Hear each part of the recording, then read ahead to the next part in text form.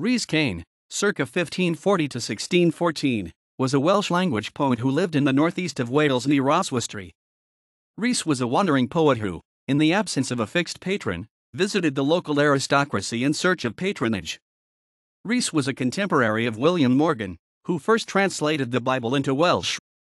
You made each word sound so sensible. The word of God so comprehensible.